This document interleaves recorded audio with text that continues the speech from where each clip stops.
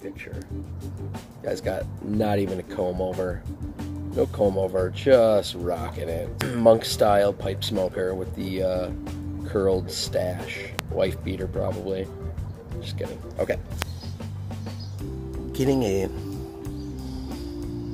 Mm, like a spicy tartness. I get the plum. The plum totally makes sense. Want to say citrus because it's not necessarily citrus, but it's got that tartness to it and enough spice to really kind of hold, kind of kick it in a bit. And uh, it's a really good tin note. It's a very interesting tin note, actually. It's spicy as all get out. Mm. It might be worth buying just for that, actually. It is. It's good. It's got a. It's definitely a plumness. Actually, it's a. Uh, it's like a spicy again, it's not citrusy, but it's fruity, I guess. Fruity sort of tartness, if you will. Mm. Let's try that again.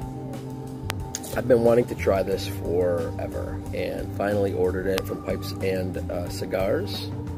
And here we go. Seattle Pipe Club Plum Pudding.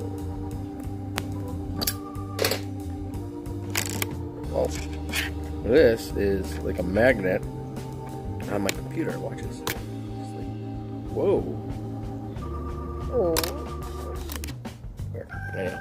It says English Balkan pressed tobacco, a rich blend of Latakia, Orientals, Virginias, Perique, and Cavendish. A Joe Lankford blend. Assuming that's Joe. Joe needs some Rogaine.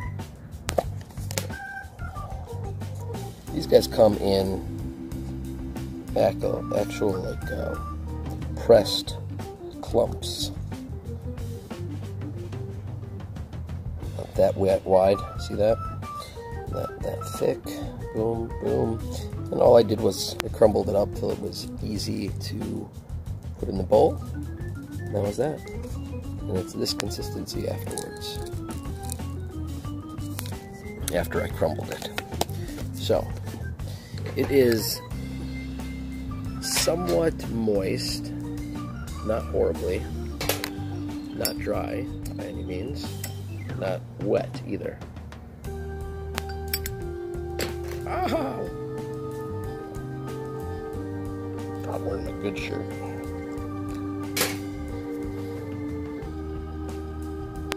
Plum pudding. Plum pudding is an English Balkan blend like no other. Rare tobaccos crafted and pressed carefully together. Many pipe smokers say it is their perfect tobacco. Nirvana, said one review reviewer. Master Blend Joe Lankford uh, created this treasure for the Seattle Pipe Club.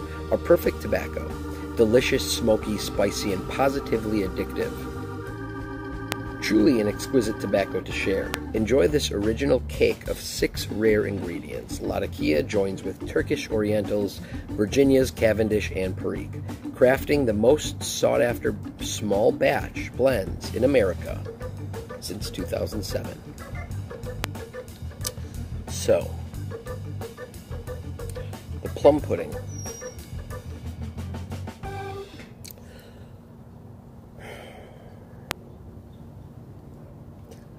I waited to do this review actually because I ordered the plum pudding along with three or four other tobaccos that are basically Latakia blends.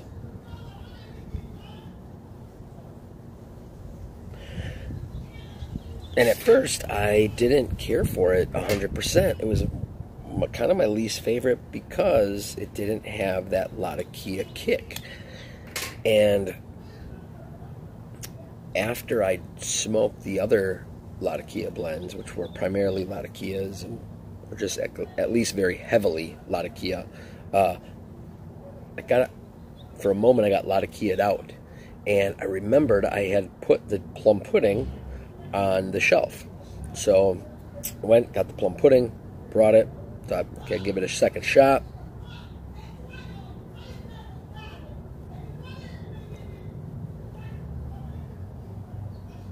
Had a boom mic. Put it over that way. I'll tell you, I go through waves where I don't pack my pipes correctly because lately, these last three days, I'm it's it's getting frustrating because every time I pack a pipe, I either get a ton of ash in my mouth or it's so hard to inhale, I have to do that. I did not dry out the plum pudding before I uh, crumbled it up. The crumble cake here. Now, the reason I was originally disappointed in this one was because there was a lack of Latakia, even though it's, I believe it's the first ingredient. But it wasn't as Latakia forward as I would like it to be.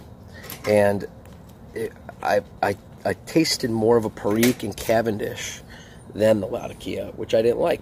My entire order from Pipe and Cigar was uh, Latakia blends. So when I got my plum pudding, the only tin I got, the rest were in bags, um, and it tasted the least like Latakia, I was disappointed. Took about four days, and then I tried it again after I was all Latakia'd out, because that's all I smoked for four days, five days, six days, about six days. And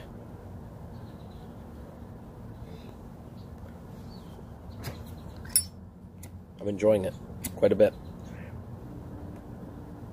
It's a nice break from the Latakias. You still get the Latakia, but it isn't as, like I said, it's not as forward, a Latakia forward as the other uh, four that I got. I should probably dry it out a touch before smoking it next because it is a bit damp. But it definitely has that smoky, spicy flavor the Latakia in the background. But the Perique and Cavendish, for me, stand out the most. So if you're not a Latakia lover, as I am, still might be a decent tobacco for you to try if you're trying to expand your palate or try to like Latakia if you don't yet or you're stuck on the aromatics. Um, says it's delicious, smoky, spicy, and positively addictive, as I said. Uh, but it is smoky, spicy. And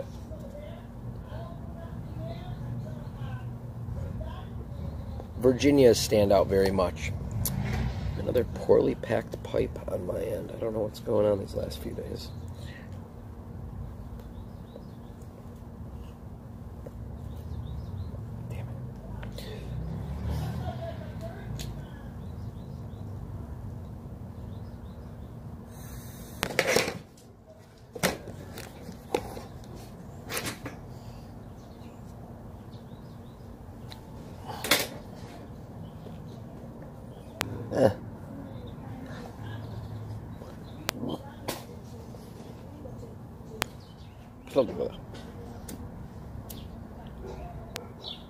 It's a two ounce tin here, distributed by Meier and Dutch in, from Bethlehem, Pennsylvania.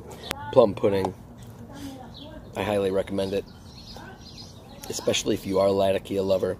Uh, if you're not, still recommend it because then you can kind of move yourself into that uh, mild Latakia and see if you like it because it's definitely in the background. It's not nearly as um, strong as the Virginias and the Cavendish. A little bit of the Perique as well. So give it a try. Pipes and Cigars is where I got mine. And uh, let me know what you think below. Or if you already have smoked it, let me know your thoughts. All right. Hope all is well, guys. Peace.